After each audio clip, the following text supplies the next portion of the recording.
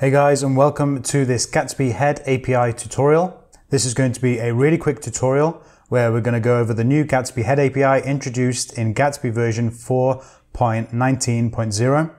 Now admittedly the title of this video is very clickbaity because I think the Gatsby Head API has only been available for like a week. So I imagine a lot of you are not using it yet, or certainly not replacing React Helmet with it yet. However, this is a very welcome addition to Gatsby.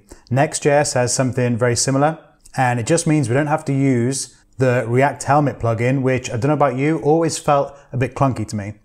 However, with that said, let's go over the Gatsby Head API. I've already got a Gatsby project, an example Gatsby project bare bones one up and running.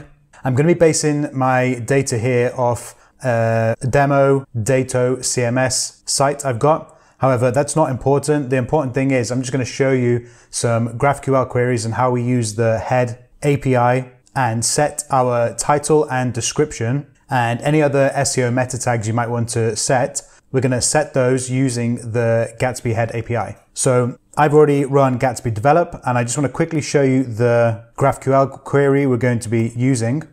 So I've got my all Dato CMS page and I'm going to query for the SEO, title and description. So I'm going to hit play on this and I have three pages. So we're going to generate three pages and we're going to set the meta, the description meta tag to SEO description and set the title to SEO.title. So very, very simple tutorial and you're going to see how easy it is to update these meta tags using the Gatsby Head API rather than using React Helmet.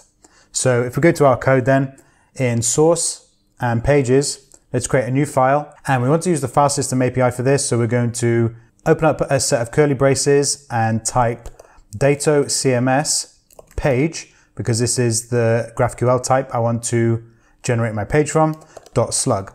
dot .js. So in here then, I'm just going to copy everything from index.js, paste it in there, and you can see already that index.js already has a head function exported from it.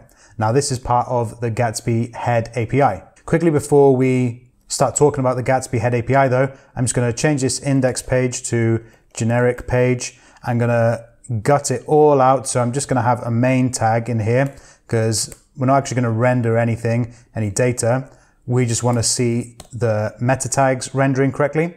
So instead of index page there, generic page, let's get rid of all these styles. So you have a nice clean file there. So if we save this now, if we go back to our GraphQL query, I'm already querying for the slug here. So I should have my homepage overwritten because the slug for the homepage is index.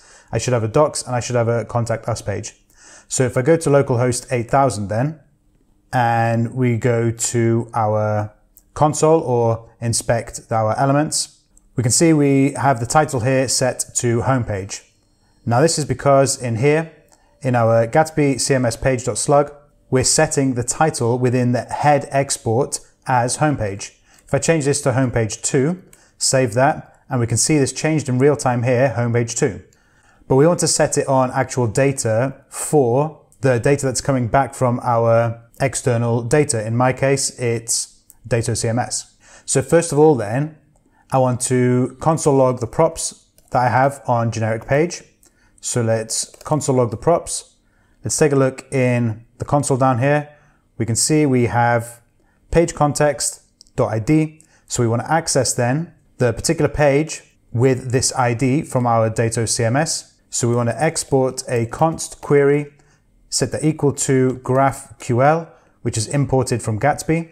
Set of backticks here, and we want to add query, page query, and the page query is going to accept an ID of type string.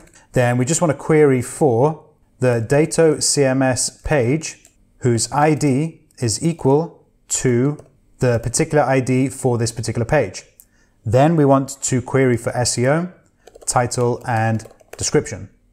So if we save that and take a look in the browser now, if we already check here, we're already console logging the props from generic page.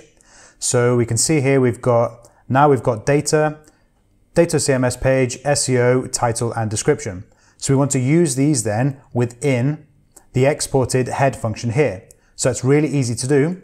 We just need to destructure because Gatsby is going to automatically populate our page context and data. It's going to automatically pass it in to for us to use in this head function. So we have data and page context. So let's tidy this up a little. Let's return the title, homepage 2 there, and let's console log now from head the data and page context. Let's see what we've got in our console. If we give that a refresh, we can see from head here, we have Dato CMS page, SEO, description, and title. So that's been passed in from the result of our GraphQL query. So all we need to do then is just return a React fragment here. We want to, instead of hard coding this homepage too, let's render data.datocms page.seo.title and let's add a meta tag here as well. We want it to be the description meta tag, so let's add name equals description and the content will be data.datocms page.seo.description. So if we save this now and take a look in the browser, we can see our title has already updated. This is the homepage title. If we take a look in head, we should be able to see we've got our title and our meta description. So this is the homepage description. This is the homepage title. We also have pages at slash docs. So again, if we look at the head, we can see this is the docs page title, the meta description, this is the docs page description. The last one then we have a third page called contact us and exactly the same here. Our title has been updated. This is the contact us page title and the meta description. This is the contact us page description.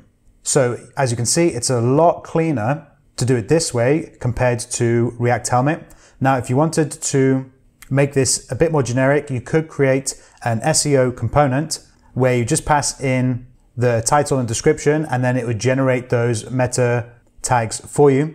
So instead of having for let's say you've got a bunch of different page templates and things here, instead of having to rewrite this all the time, you just have a SEO component which will take care of that for you. So all you're really doing is making this markup generic.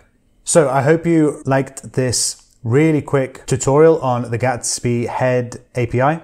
If you like this video, please give it a thumbs up. Please comment down below if you want to see similar videos to this. And let me know as well in the comments, do you prefer this way of setting the title and metadata, or do you prefer using React Helmet? So let me know in the comments below. Thank you very much for watching and I'll catch you in the next video.